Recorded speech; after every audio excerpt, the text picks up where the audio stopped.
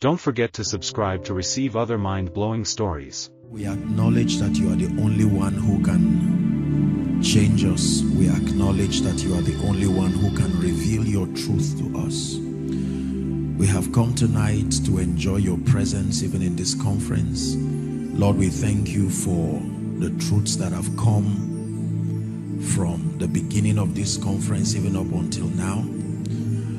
Lord, we thank you for the session we just had, mighty truths from your, your word. We pray that you bless our hearts tonight. Let your word come with power in Jesus' name. Amen. God bless you. Please be seated. We'll have a very brief session tonight. Um, while I sat back and Dr. Lumide was just teaching on the kingdom, I just thought to take it from there since um, it is a kingdom conference. Conferences like this, as I would always say, are designed to bring us to more accurate understandings of the ways of God. It is true that many, many believers are in ignorance as far as the ways of God um, are concerned. And that is because, like he rightly said, there are two dimensions to the gospel. There is the gospel of salvation, and that is the revelation of the Father's love revealed in and through the substitutionary sacrifice of Jesus Christ. Man and creation being the object of that sacrifice. So when it has to do with the love of Jesus revealed through what we call the substitutionary sacrifice of Jesus as proof of his love for man and then the entire creation. It is called the gospel of salvation. And you see, in the communication of the gospel of salvation, it is about the Father and his benevolence and his love to man. Are we together? And Jesus Christ being the mediator but now, all that man does in the gospel of salvation is to believe that report and to receive by faith. And the Bible says that if and when we believe that the life of God, what we call eternal life, becomes the blessing for believing that report. And then we move past that dimension of the gospel and we get to what the Bible calls the gospel of the kingdom and like your pastor rightly said, the gospel of the kingdom is how believers become matured. When you teach the gospel of the kingdom, Jesus Christ is no longer savior, he is king. Are we together?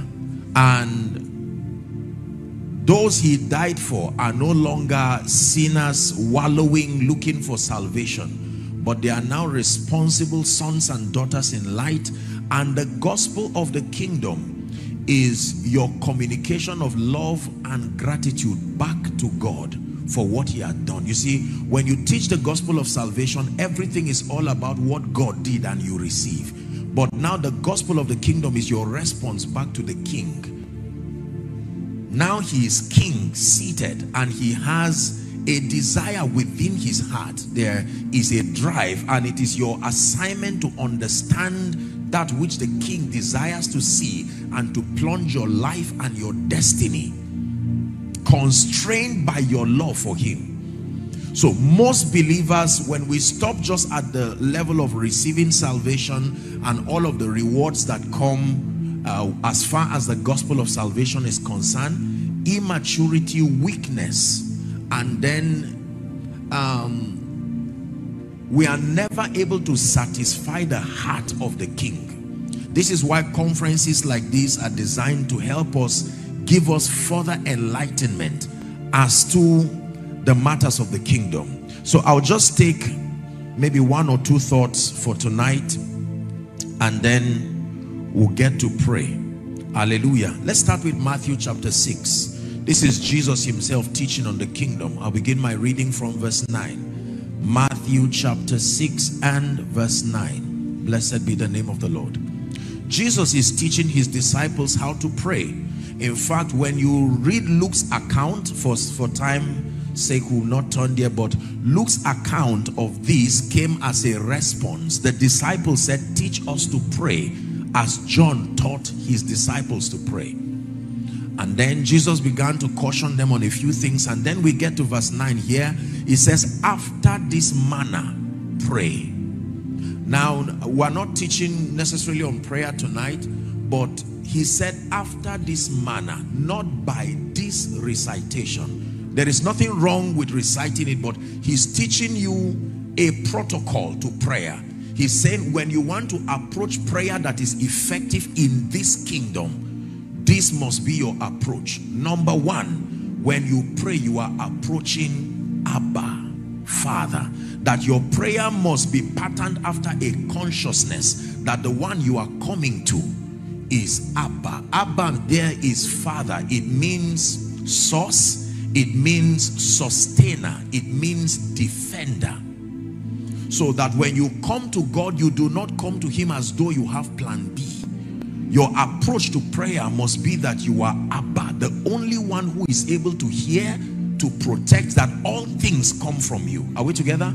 And then number two, he says, which art in heaven. So he gives you an information that even though the Father is everywhere, but that you are dealing with a God who is in a dimension that is not physical, that means faith will be required for that communication, which art in a realm that is not physical. And then number three, he says, hallowed be your name. That means do not allow familiarity just because he is father do not allow familiarity to corrupt your understanding. It says, hallowed be your name. Approach him with the spirit of reverence as touching what he represents. Then he says, when you are done past that, the next port of call is thy kingdom come. This is what I want to discuss briefly. Thy kingdom come. He's teaching you how to pray. So he says, come to the Father and that you come by faith which art in heaven and then you come with the spirit of reverence acknowledging him as touching all that he represents and then in making any request at all in order of priority that every time you have an opportunity to make any request your prayer should be your kingdom come. Do you know why this is so?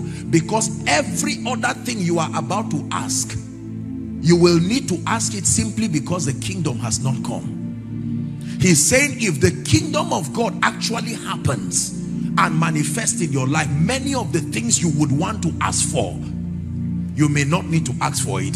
That the fact that you have many prayer requests they are a report card that the fullness of the kingdom has not come. Because that when the kingdom truly comes all that will be left in your prayer is worship because the kingdom has a character of making sure that there is no deficiency in your life.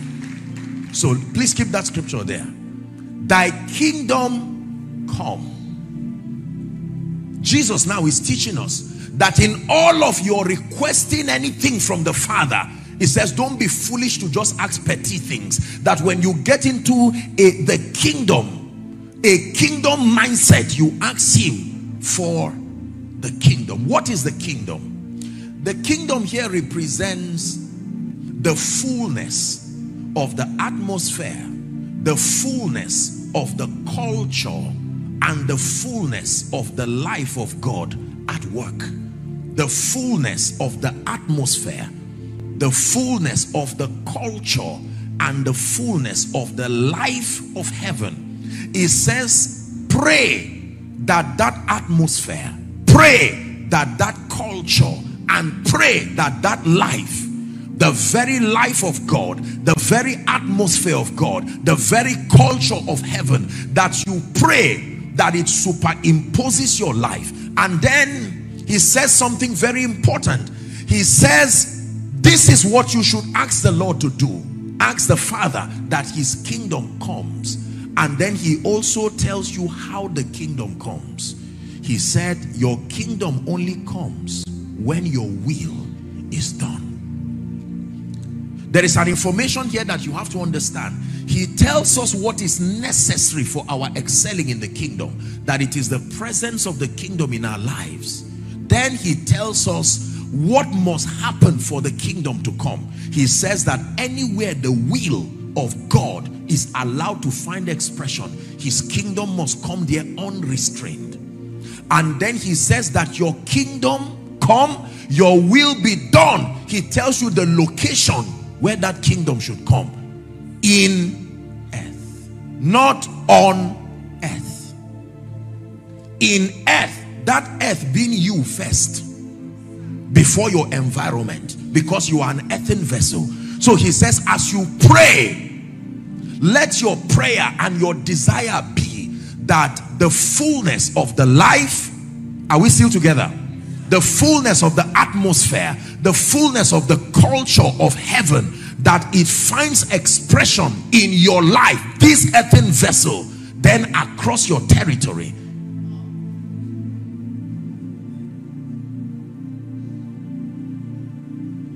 So give us this day our daily bread.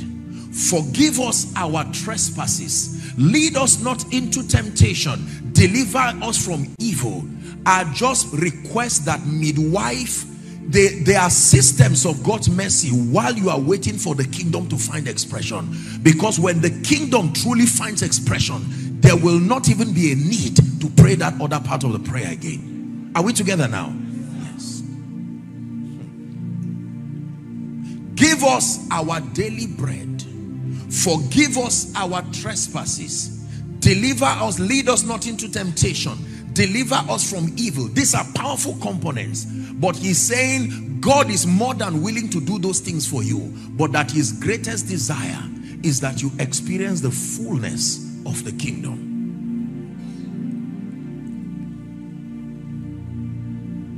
Write this down, please the secret to manifesting the kingdom the power and the glory of God is to know and allow his will to find expression in your life. The secret to manifesting the power the kingdom the power and the glory of God is to know and to allow his will to find expression. Please someone say will. One more time, say will. This is a word that if you do not understand, then you don't know anything about the kingdom. Because in the kingdom, everything revolves around the will of the king. Are we together now? Now, in a democratic system of government, is the government of the people, by the people, for the people. So the will is centered around the people, theoretically speaking. Are we together now? So the people decide everything that happens. But in the kingdom, the kingdom should be a perfect reflection of the will of the king. So if the king is a wicked person, the entire kingdom reflects his will. You can know how great a kingdom is or a king is by looking at his system of government around the kingdom. Are we together now? Yes. In a true kingdom system, your opinion does not matter. It is your trusting the benevolence and the kindness of the king. You are called into compliance and you are called into obedience, not negotiation. You negotiate in a democracy. You can get up and be angry. This was the mistake of Vashti. Vashti forgot that she was queen to a king. So when the king beckoned on her, he wanted her to flaunt his glory that he was the king over 127 provinces. The bible says she rebelled. She had her own camp and she was enjoying herself. She forgot that her honor was derived from her alignment to the king.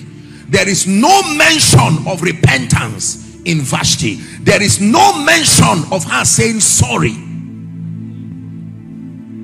She was banished simply because she did not recognize that in a kingdom everything centers around the will of the king now you have to understand this because you see Jesus in John chapter 21 When he rose up from the dead, he met Peter. Peter said, I go a fishing. And the disciple says, we go with you.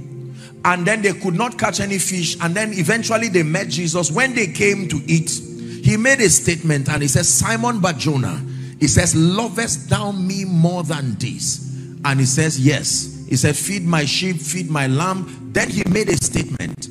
He says, when you are young, you are allowed to go anywhere that you would want to go. But that when you become old, someone will have to hold you and he will constrain you to go to the places that you would not even want to go. Jesus defines maturity there, that your degree of dependence is how you are matured in the spirit.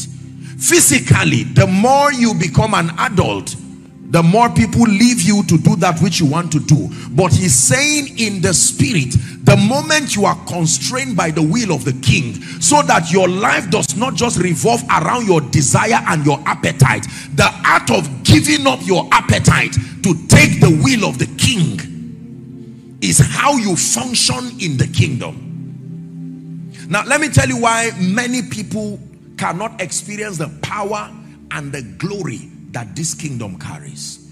It is true that we know that this kingdom is a kingdom of power and that there are multifaceted um, manifestations of the glory and the power and the grace of God. Many people desire to see the wonder working power of this kingdom at work in their lives. The simple reason I submit to you tonight is that many people do not know that the necessary and sufficient condition to become an expression of the power and the glory in this kingdom is that you must go through a conscious test or a conscious demand of dying to your will and picking up the will of the king that your entire life is constrained to revolve around the will of the king.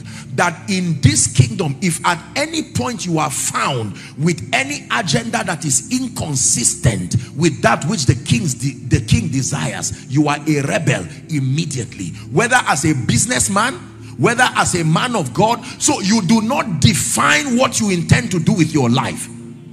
The very character of the kingdom demands that you are dead to enter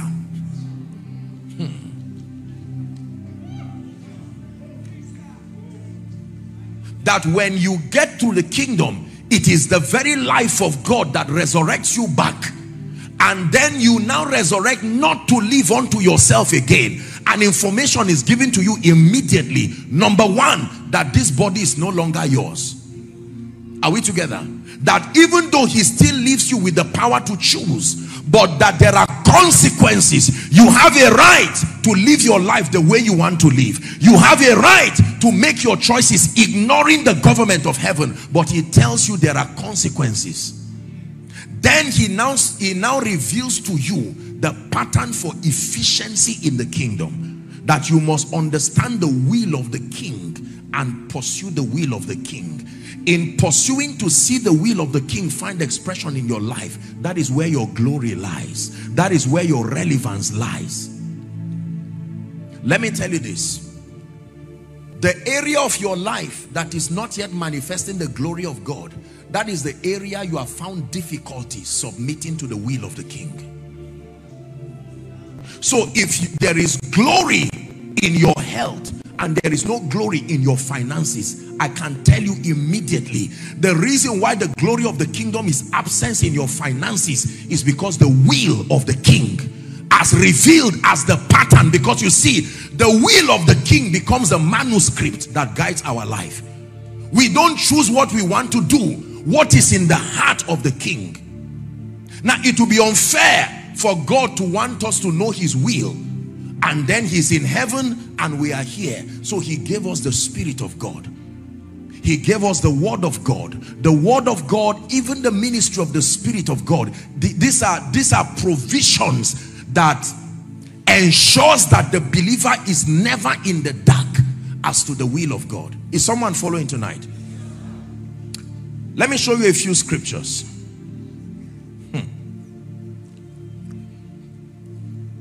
until you know the will of this king and then find out what it takes for the will of this king to manifest in your life, your life cannot be an expression of the glory of God.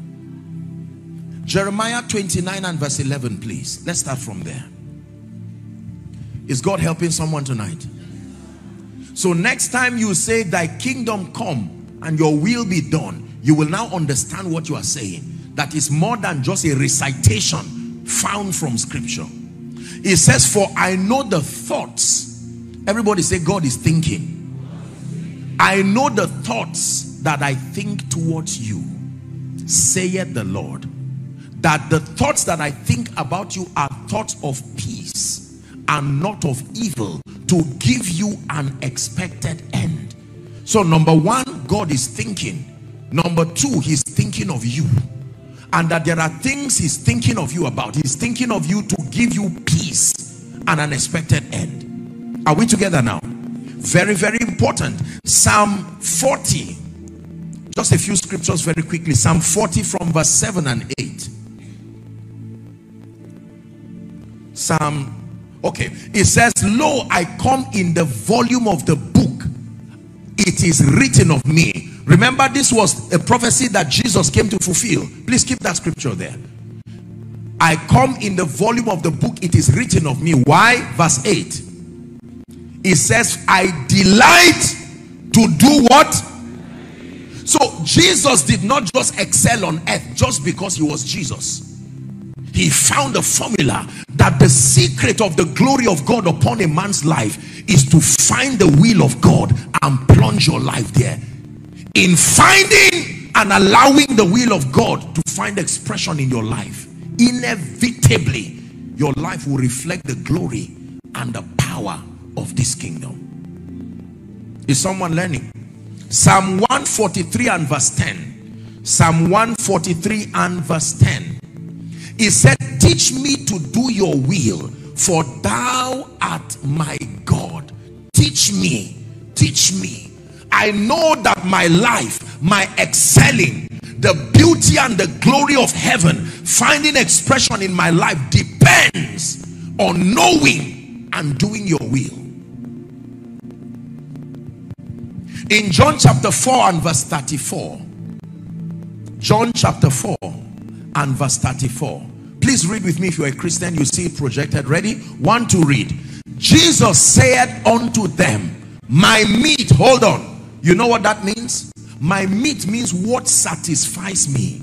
My satisfaction and my fulfillment is derived from doing the will of him that sent me. That means Jesus never invented any agenda for himself as soon as he became a teenager, he went to the temple. It was more than just a pursuit for spiritual growth. He kept checking through the scripture what has been said concerning me that is consistent with the will of God. And he spent his entire life doing and finishing that. He has become for us the pattern man. Jesus is saying, I succeeded and I excelled, not just because I came from heaven, that the secret to my excelling, the secret to the revelation of the glory of the Father in my life was that I was about doing his will. One more time, say will. Hmm. Ephesians chapter 5 from verse 15. Is God speaking to you? as simple as this mystery is, there are several believers who keep wondering why they are unable to see the glory of God and the power of God manifest in ministry, manifest in business, and it seems as though God just handpicked a few people and is giving them influence, visibility. It is not so. We are all destined to a life of glory and grace, but the condition to the degree to which your life is found in the will of God, that is the degree to which the glory of God is revealed. You have to understand this. Now, it says, see then that ye walk circumspectly. The word there means accurately. Not as fools, but as wise. What is the wisdom? Next verse, we're reading to 17. Redeeming the time. Do you know what this means? That means anything you can do to redeem time, the Bible calls it wisdom. So if you waste time and time keeps going and you cannot justify the passage of time with purpose, the Bible calls you a fool. Are we together now? Please keep it there.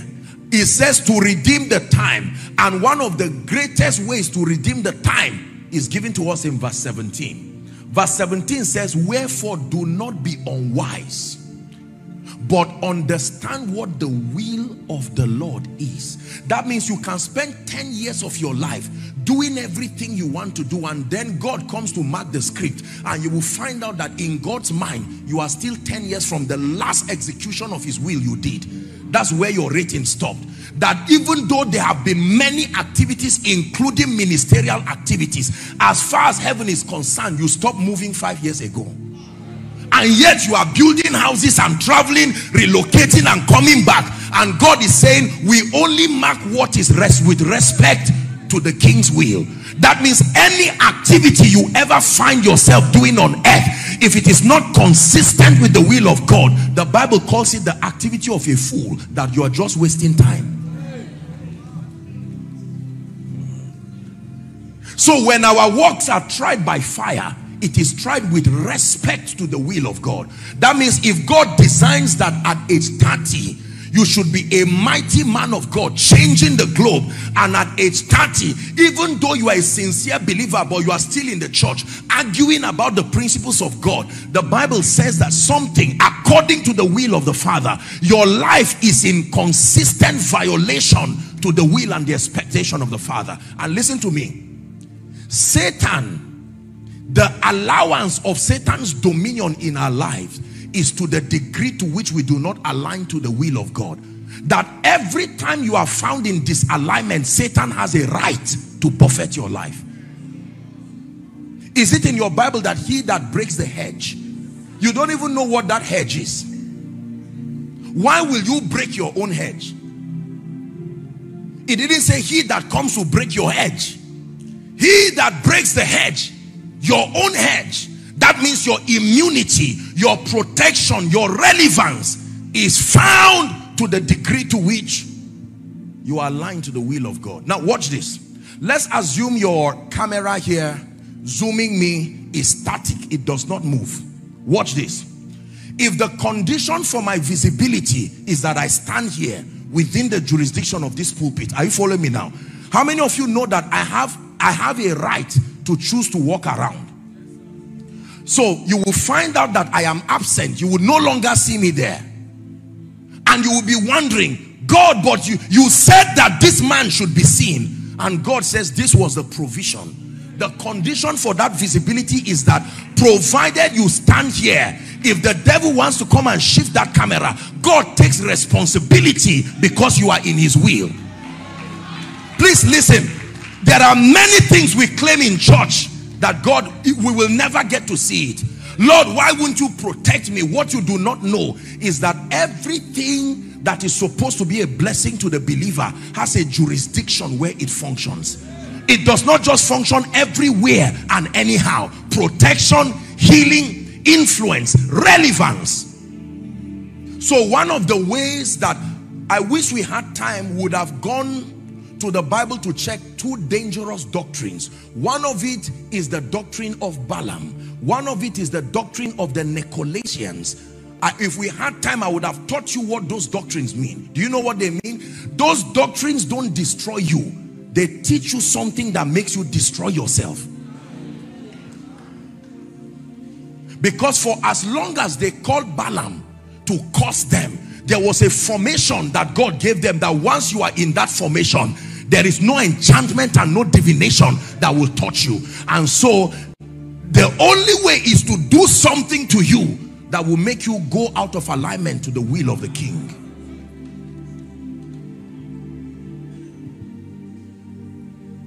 Are we together?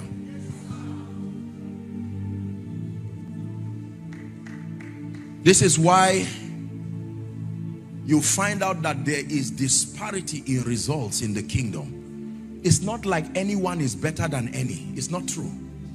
It's not like there are some people, yes, there is the election of grace. But let me tell you, everyone according to the authority of scripture, the Bible says we have been called with a high and even a holy calling. There is nobody destined to be the one clapping for others. We were all designed for the top. However, the condition is that in this kingdom, if you must excel, it will be a product of your ability to relinquish your will. And you see, when you relinquish your will, you look like a fool. Except that your relinquishing your will is based on the revelation that his ways are higher than your ways. When you give up your will to pursue the will of God, it does not make sense because it looks like God is a self-centered God. Why should I give up my beautiful life? So you call it based on what you know it to be. But until you come to alignment with the will of the king, then you will know the great plans he has for you. Abraham was living his own life and never knew that he was destined for the globe. He was a local champion having a few people in his house. And if you ask Abraham, Abraham will tell you, I'm happy with my idol worship at Ur of the Chaldeans, not knowing that there was a destiny for him. And then God calls him and he says, Abraham, the first thing is come out of your father's house. Come out of your experience. Come out of everything you have put to yourself and go to a land that I will show you. It does not have any name. Follow me. I will define everything as you are going. Do you know the risk? He didn't say come out and go back. He says start a journey. While you are going I'll keep talking to you let me tell you one of the things with the will of the king. He will never give you every information you need. He will give you sufficient to start the journey so that you will depend on him for every part of the journey. We live in a world where people are obsessed with guarantees. Unfortunately, the way this kingdom operates, the guarantee is your the revelation of the kind of king leading you. When David stood before Goliath, there was no guarantee but he said, I know someone, the one who delivered me, delivered the bear and the lion. If he delivered these things, he would deliver this uncircumcised Philistine to my hand.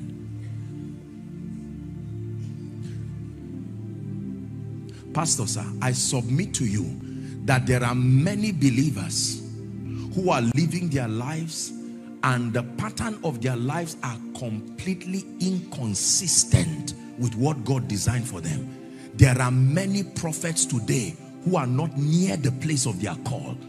There are many people, the concept of the will of the king is a concept that the devil led us to push it out in church.